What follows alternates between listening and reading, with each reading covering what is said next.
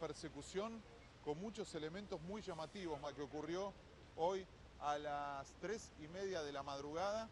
y que termina en Avellaneda, pero que tiene su primer punto en la calle Cerrito, allí muy cerca de donde está la protesta de los taxistas. La información que tenemos es que allí había dos hombres en una moto, en una actitud que le llama la atención a la policía, que empieza a seguirlos a cierta distancia, y en un momento dado estos hombres aparentemente entienden que la policía los estaba siguiendo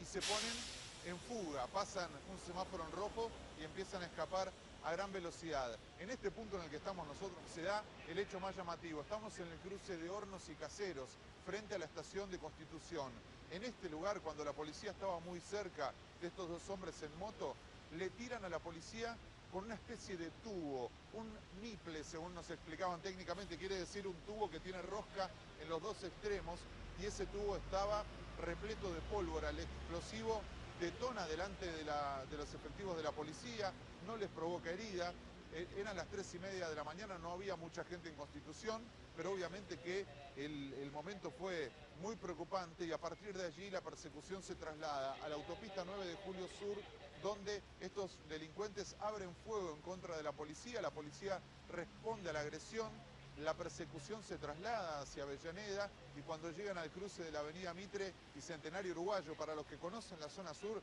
entenderán que es una persecución muy larga, muy extensa. Mitre y Centenario eh, Uruguayo allí finalmente consiguen detener a estos dos hombres, porque lo que nos explicaban es que esto va a terminar con allanamientos en los próximos minutos, teniendo en cuenta lo que estamos contando, que estos hombres estaban en el centro y que tenían un explosivo en su poder que usaron para tratar de escapar de la policía. No lo consiguieron, pero obviamente que en este momento se están investigando las identidades de estas dos personas. En principio lo que, lo que sabemos es que son dos hombres y que serían de nacionalidad argentina y mayores de edad, pero están investigando los vínculos de estas personas y que esto terminaría con allanamientos en los próximos minutos. También están esperando que lleguen los técnicos para practicarles el dermotest para poder comprobar justamente la manipulación de explosivos de parte de estas dos personas que, insisto, estaban en actitud sospechosa en el centro, sobre la calle Cerrito, y que terminan escapando de la policía a los tiros y utilizando este elemento explosivo como parte